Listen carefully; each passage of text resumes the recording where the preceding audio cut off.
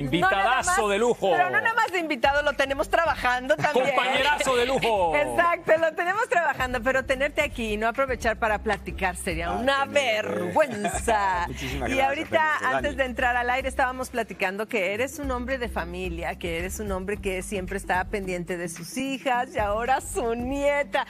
Cuéntame cómo te ha cambiado. Bueno, será yo la, la abuela que no, que no le gusta. ¿Cómo te ha cambiado la vida ser abuelo? Fíjate que cuando me dan, me dan la noticia eh, Valentina y Pablo, Valentina, mi hija que tengo en Argentina, tiene 32 años, eh, me dan la noticia, papá, eh, quiero hablar contigo, tenemos una noticia que darte.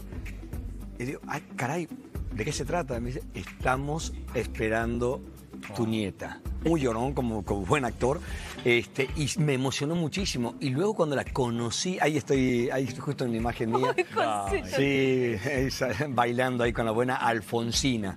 Eh, sí fue una emoción muy grande. Sí, sí, el, el sentimiento, o sea, de repente me cayó el 20 y digo, ah, caray, estoy cargando a la hija De de, mi mi hija. hija. Wow. Entonces sí es algo que, que sí trasciende, lo trasciende a uno, de verdad. Juan, eres, Sí. eres, me considero muy parecido a ti, somos muy familiares, le damos un gran valor a la familia.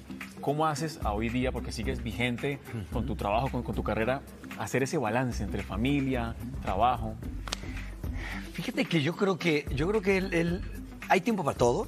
Ajá. El que te dice, hijo, no tengo tiempo para ir a verte, no tengo tiempo para responderte, eso no es verdad. Eh, creo que hay tiempo para la familia, hay tiempo para, para el amor, hay tiempo para el trabajo, hay tiempo para absolutamente todo. El tema es eh, amar profundamente lo que haces y amar profundamente por quién lo haces. Entonces creo que, que son dos, Un equilibrio. es un buscar un equilibrio. A mí no me gusta mucho la palabra equilibrio, creo que el equilibrio es cuando la gente cuando está muerta nada más, pero sí una armonía. Me encanta la armonía, me encanta armonizar todo lo que, lo que tiene que ver con las que uno ama profundamente.